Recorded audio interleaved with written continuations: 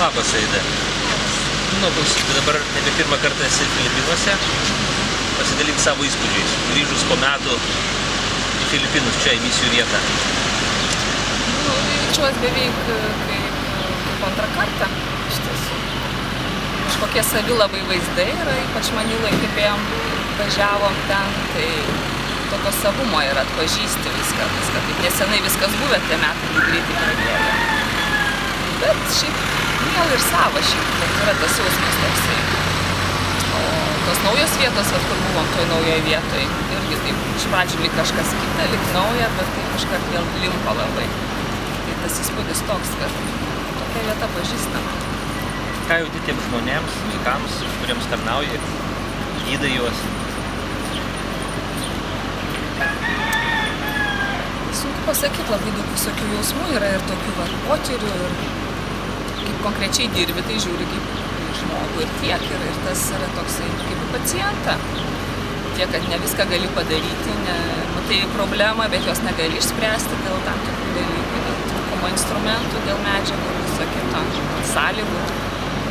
Būtų galima daug daugiau padaryti, turint daugiau rankose kažko. Bet e, tas jausmas toks, kad nu, žiūri kaip į pacientą, kaip į reikalingą žmogų, norinti, kad suteiktum jam pagalbą. Jo. Tiesiog tas toks natūralus gydytojo toksai matyt yra pašaukimas, kad tu turi padėti gelbėti ir gydyti. Kaip tu manai, ką mes Lietuvoje turėtumėm padaryti, apie ką susimastyti, žvelgiant į žmonės, labiau skurstančius, gyvenančius atokiau nuo mūsų, bet kita vertus stokojančius, turinčius, turinčius daug problemų. Pati. Pašaukimas yra padėti. Padėti. Čia to reikia, čia galbūt daugiau, didesnė koncentracija to skurdo yra, bet esmė, kad ta pagalba, nu, konkrečiai, va, kiekvienam yra nedidelė, va, tai bendrai žiūrint, jinai yra tiesiog labai, labai mažytė. Visiškas garsyčios grūdelis, kurio net, net neįtari, kad jisai yra, kad galėtų jisai va čia kažkiek užsilikti, bet konkrečiam žmogui, aš manau, tai yra daug.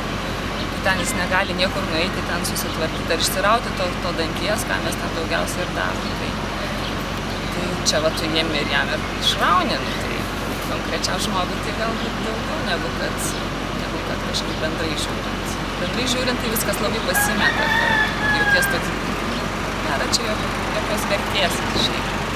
Bet žmogui, tai manau, kad turi daug prasmės. Gerai, paskutinis klausimas, nors mūsų misija dar tik įpusėjo, mes važiuojame į Dagubaną. Kokios tavo mintys apie ateities planus, galbūt po metų vėl norėsi čia sugrįžti? Kažkaip galvoju, kad ne, ne, dabar nenorėčiau vėl grįžti dabar greitai, taip atrodo, bet... e, kai Andrius Niekada nesakyk niekada. Taip, bet kai Andrius šiandien oro uoste pasakė, kai mes važiuosim kitą kartą, tai tas mes, matyt, nubėgo kažkur gilin, tai aš nežinau dabar. Gal ir važiuosiu, gal ir ne. Sakau, neturiu jokių planų kažkokių iš ankstyvių, bet kodėl ne. Galbūt į kitą vietą kokią, galbūt daug vietų. Dėkui tau už įspūdžius.